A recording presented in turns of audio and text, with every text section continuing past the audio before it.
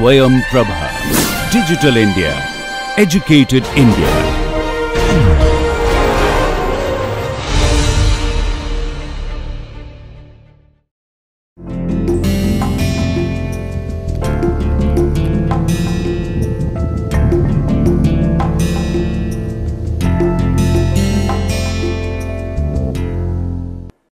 Welcome back to the lecture series on bioenergy. Yesterday we talked about in our previous classes about photosystem 1 and photosystem 2. How photosystem 1, photosystem 2 varies. I told you then in the space of location of places they are located at different locations. But there is one more thing to add up to that. Both photosystem 1 and photosystem 2 stays at a different kind of reduction potential or redox potential. Each one of these photosystems have a different ability to lose electron. One lose faster than the other, but they how such things are being achieved. So, the way photosystems develop is that say for example, a system may have a mix of chlorophyll A and chlorophyll B, but that number can be varied. Say for example, if I say each photosystem is made up of 100 molecules of chlorophyll. So, there may be a photosystem where there will be say, so one option is that 50 50. So, 50 chlorophyll A, 50 chlorophyll B, but anything which shifts say for example, one has say 10 chlorophyll A, other will have say 90 chlorophyll B or the and think the other way reverse one has 10 chlorophyll B and 100 chlorophyll A. Now, look at the spectrum here back to the spectrum what I just drew for you. Now, based on that number the spectra the overall light absorbing ability is going to shift. Again look at the spectra carefully, look at this spectra. So, so this is the zone for chlorophyll, the pink one is the for the chlorophyll B and the green one is for chlorophyll A. Now, say for example, in your system you have a photosystem where there are out of 100 molecules just this is just for your understanding sake I am telling 100 molecules do not think there are millions of such molecules which are present there, but they have a finite number for photosystem 1 and photosystem 2, but their proportionate number of chlorophyll A and B are different. In photosystem 1 there may be a different proportion of chlorophyll A and chlorophyll B. Similarly, in photosystem 2 there will be a different proportion of chlorophyll A and chlorophyll B and these differences completely change their optical properties their light absorbing potential and the way and their redox potential. These are apart from. So, there are three things now I am adding from the previous two lectures. Point 1 we have two photosystems and we will talk about how this was being discovered. Actually, it was discovered like that only the way I am telling you the experiment, uh, the way I am telling you the giving you this explanation. Point 1 there are two different photosystems photosystem 1, photosystem 2.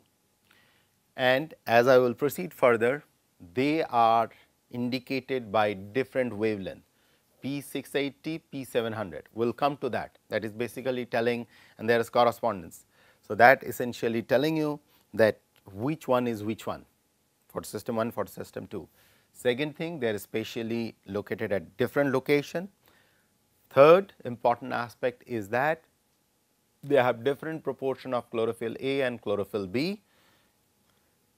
Fourth, they are standing at different redox potential. So, in other words, their light absorbing power, light absorbing ability and electron ejection ability is entirely different. These three or four concepts I really wish get clear in your brain because that will be a big help to understand the whole basic architecture of photosynthesis. Okay. So, from here let us coming back to the slide. So, we talked about the dye solar cell we will be dealing with it. You remember we talked about the reaction center. So, this is the topic what we will be dealing now is photons absorb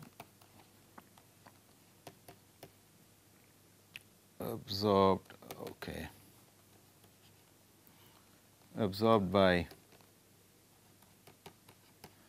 many chlorophyll, CHL stands for chlorophyll, funnels it into a reaction center.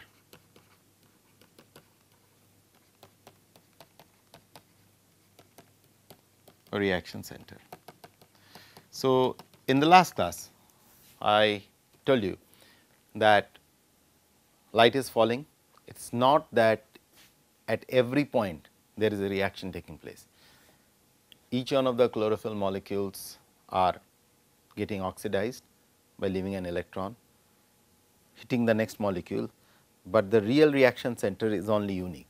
And I also mentioned in previous classes that you really cannot locate the reaction center, but how that was discovered. So, I will put in a statement for you that will help you to realize that how that was being discovered. So, basically the output of photosynthesis. So, before you get into that just before I put the statements there, the output of photosynthesis is measured. So, if you look at look back at the basic reaction CO2 plus H2O CH2O plus oxygen. So, the output is measured by the output of oxygen. So, if you have a probe by virtue of which you can measure the output of oxygen, then you can measure the rate of photosynthesis. So, in other word, so let us add one more thing into it, light. So, if I am giving this much quanta of light, say I give x quanta of light, then what is the y mole of oxygen which is evolved. So, this is how the efficiency of photosynthesis, photosynthetic efficiency is being determined.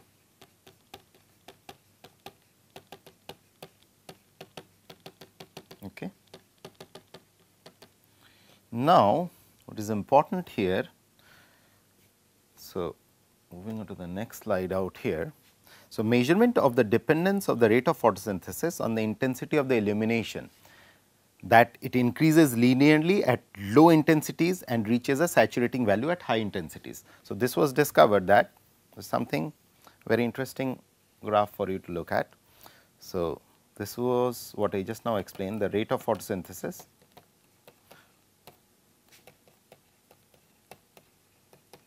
okay, and the light intensity.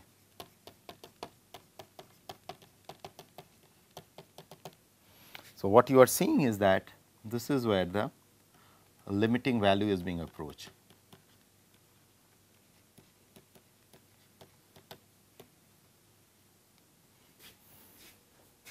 And uh, followed by this, so as we talked about the a saturating value is observed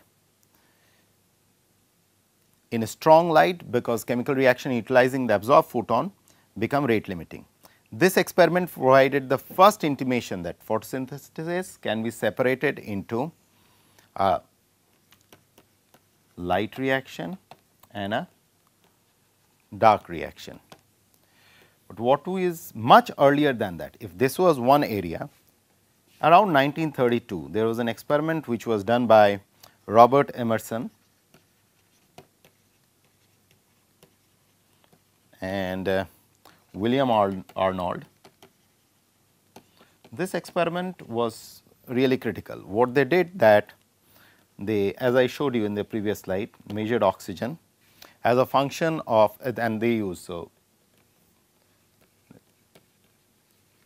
chlorella what they they have used okay chlorella cells is basically a an algae so they measured the oxygen by exposing the flash of light measured oxygen with as I showed you in the previous slide flash of light and what they observed was was very interesting. The observation is one of the critical experiment. Uh, saturating light flash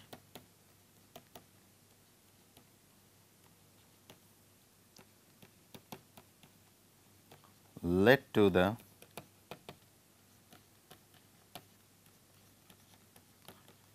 production of only one molecule of oxygen per 2500 chlorophyll molecules. This is that critical statement which is significant. So, when 2500 chlorophyll molecules are illuminated, what you are seeing there is a single oxygen molecule is being produced. It means that every chlorophyll molecule is not leading to the reaction. So, it means that, so based on that and several other experiment it was proposed that what is essentially is happening is something like this out here. So, first again revisiting the reaction center concept where so these are the chlorophyll molecule which are sitting at different reaction center chlorophyll A, chlorophyll B respective of it and when the light is falling like this. So, it is kind of traveling through and then there is one particular center which we call as the reaction center. And the way it possibly works, one of the currently accepted theory is that, so there is a light, there is a light energy which and then there are hopping of energy transfer taking place this level and eventually it reaches to the reaction center. Okay. So, and these are the chlorophyll which are sitting at the ground state and these are the chlorophyll which are sitting. So, these are the chlorophyll at ground state and these are the chlorophyll which are sitting at the higher state. So, this is how by very simple experiments back in the early 1900 it was discovered that the whole process is not one is to one like one light will fall on a chlorophyll and will generate an oxygen it is not like that. So, you need a cluster of chlorophyll molecules to initiate the reaction of oxygen formation and simultaneously these are the reactions which laid the foundation for two kind of reaction the light reaction and the dark reaction taking place in the whole photosynthetic apparatus. Okay. So, now coming back we will move on to the next slide where we will talk about one second. Okay. So, we talked about another concept so, the very basic reaction if you again go back to the basic reaction, I will keep on following this basic reaction because that is where lies all most of our understanding. So, this is where the light is falling okay. and uh, what we are talking about CH2O plus oxygen. Now, the question is which was posed was how oxygen is getting evolved is it coming from carbon dioxide or is it from water. Again look at the reaction carefully, you will realize what I am trying to ask you. So, here is the oxygen which is getting evolved. How you prove that this is coming from here or this is coming from here? It can come from both sources, right? Because both have oxygen, you can split the carbon dioxide, you can release the oxygen, you can split the water, you can release the oxygen. So, there is no one has told the molecule that you have to come from this spot so, how to prove it? Now we know of course, in the beginning we said that is the water is kind of getting split and oxygen is what, but how that reaction took place, how that was kind of being discovered. So, the way it was done, I will just put two reactions in front of you. You remember I told you that there are hydrothermal vents where there are no sunlight, yet life does evolve and those are the regions which are rich in hydrogen sulfide. Those of you have just forgotten, just go back to those lectures and realize, because it has some link and that is why I purposefully made it a point to bring this aspect for you that why I mentioned that thing out there. So, let us put the two reactions out here which will help you to realize one of the very very seminal contribution.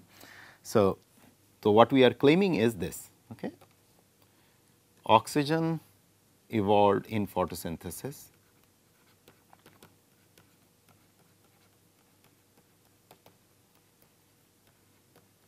Okay, oxygen evolved in photosynthesis.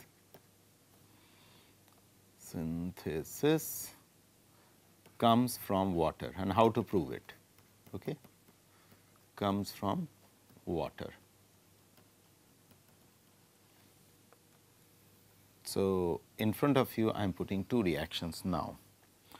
CO2 carbon dioxide 2H2O water in the presence of light making CH2O plus oxygen plus okay you can have water whatever. Okay fine.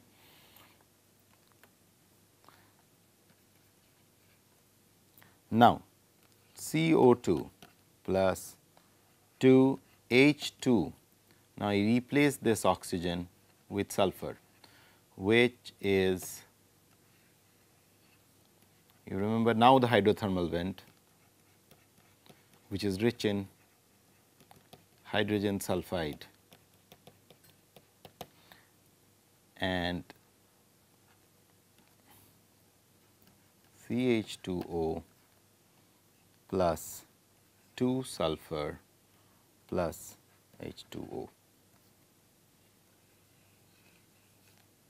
This was the reaction which led to the understanding of a generic reaction.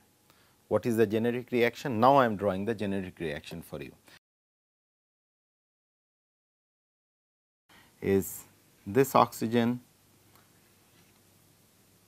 H2O what we are claiming as the currently the electron source H2S also can be electrons. So, instead of H2O you put H2S and what you are getting the output is sulfur. So, essentially when in the beginning I told you that uh, role of uh, when we are splitting the water it is just an output which is coming out because it was not really maybe it was never planned. The only what nature needed was an electron and it was looking for a very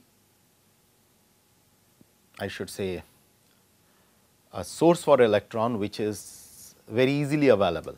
So, one of the easily available source it may have found in water, but he never thought that this will lead to the evolution of oxygen and that was one of the biggest event which happened in history when from the whole life form moves from anaerobic life form to aerobic. So, essentially what we are telling that possibly very early in the environment this was the kind of reactions which were happening. Earth which was rich in hydrogen sulfide, rich in all sorts of nasty gases and that is where probably life evolved. And at some point as earth was cooling down, as everything was calming down, the hydrogen sulfide level was going down and nature was in a hunt for another perennial electron source and nature's perennial electron source became water.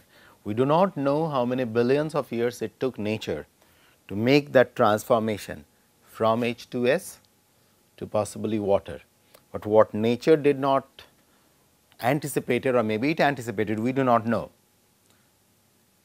That the outcome of it will be evolution of oxygen. And that was a turning point because because of the evolution of oxygen. Earlier this is the world which was anaerobic. And all the organisms which are surviving were adapted to survive in the absence of oxygen. But with the evolving oxygen most of the anaerobic species which were present on the floor of earth slowly started getting extinct because they could not withstand the oxygen pressure or oxygen tension.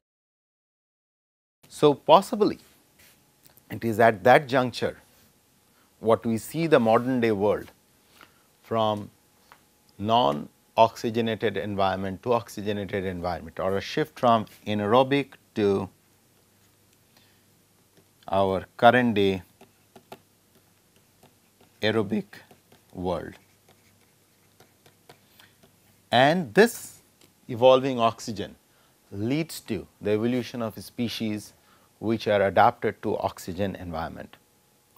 Uh, still there are several microbial life forms which grows in absence of oxygen, in absence of light, deep inside the hydrothermal vents and a life form very similar to Martian environment, environment in the Mars where it is emulated that that where it is believed that similar environment exists as in the hydrothermal vents, where even in the absence of oxygen such process takes place. And that was the reason why I wanted to show you. So, the generic reaction now I will put the in the light of this wisdom we will put the generic reaction. And this is very critical for all the biomass producing mechanism available on earth. H2 now I am putting A. I am not putting O or S. In the presence of light leads to CH2O plus 2A again I am just circling the A plus H2O. Okay. Now, this one is let us put is the hydrogen acceptor leading to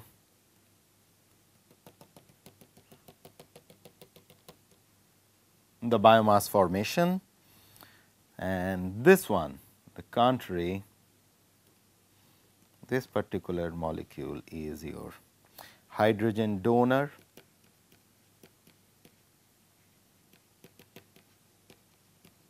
In other words this is the source for all kind of reduction reaction. And CH2O now I am putting it in green because this is the biomass what we are talking about is your reduced acceptor because this is getting reduced because of the addition of hydrogen to carbon dioxide and this one is your dehydrogenated donor. Why it is a dehydrogenated donor? Because hydrogen has been removed whether it was a H2S or whether it is a water oh, sorry hydrogenated donor. It is very interesting to note that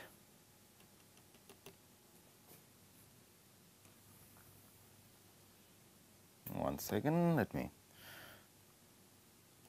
the hydrogen donor H2A is H2O in green plants and H2S is in photosynthetic sulfur bacteria. So, this is the second reaction what I just now showed you. This is basically the sulfur bacteria. And this is what is happening in the green plants. These are the two critical things what we are dealing with and oxygen evolution would then be a necessary consequence of this dehydrogenation process. These dehydrogenation process, what is happening out here leads to oxygen or sulfur. Okay. So, the availability in 1949 especially of different kind of heavier isotopes with the radioactivity was already discovered. These kind of processes could be mapped with different kind of oxygen isotope. It was being observed that indeed the oxygen is getting evolved from the water not from the carbon dioxide and that is why this reaction is very very important for you guys to mark that how these things are happening with this and we will take up each part of it in our subsequent lectures.